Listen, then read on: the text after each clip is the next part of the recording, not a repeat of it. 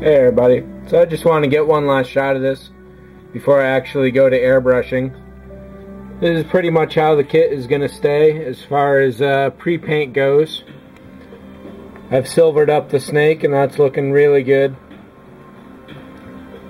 I almost wouldn't mind doing it all in metals, but uh, I'll be going for something a little more natural looking. I'm leaving Spock kind of, uh, I did basic black over this and then dusted it with some white. That was just basically to build some shadows into the whole situation. I, my, I, my goal is to uh, do some fairly light airbrushing to keep a lot of the base tones in there. So hopefully that will stay true all the way throughout. And then I definitely want to keep a lot of this silver going on as well. The tree doesn't matter so much, but you can see that it's got its shadows built into it already. Uh, what else? There's one other modification I made to this. So in addition to, to uh, magnetizing the snake here, I also magnetized Spock. There used to be a uh, tab on his foot there, two tabs actually, one at the toe and one at the heel. So I filled all that up, sliced those off, gouged the feet open, and actually stuck some magnets in each foot. You can see the round one there. So this was the first foot I magnetized, and I was only going to do the back so that he would actually stand a little better. But then I figured I may as well do the front too. In this case, with the front,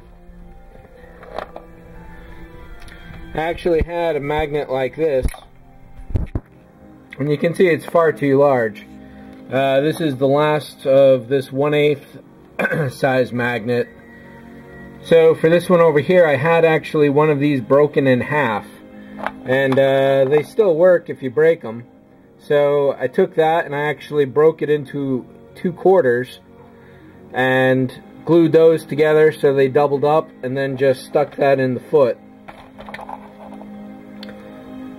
You can kind of see the shape of it right there in the lower section. So uh, underneath, and it's really strong. I'm really glad the way this is. You can, that supports the entire weight of the base. I don't think it supports it with the snake though. Let's see. Well, yeah, pretty much. So that's a fair amount of uh, strength for such small magnets. Whereas, oh, the snake magnet holds the whole thing too. So underneath here, I set the foot in place and then just dropped a magnet into there so it would find its natural resting spot and then just dumped a lot of glue and uh, baking soda on top of that to freeze it into place. And then I decided to cut the tabs off, fill all that in, and basically did the same thing. Put the foot down where I wanted it, dropped the magnet in from underneath, glued that into place, and that's pretty much what I did here too. So that worked out really well. Uh, Spock is no longer limited to exactly where he was, but he does have more of an ideal spot now. Can't quite stand on his own with one foot. But uh, previously with the tabs in this foot here, this back foot didn't really rest on this rock all that great. So now I can actually move him around just a little to get more of an ideal situation, or setup rather. So that's it for this. Uh, next time I should be airbrushing and basically what I think I'm going to do for that is just time-lapse situation like uh, is my standard. So I can watch the whole thing at 5 or 10 speed and we'll see how it goes.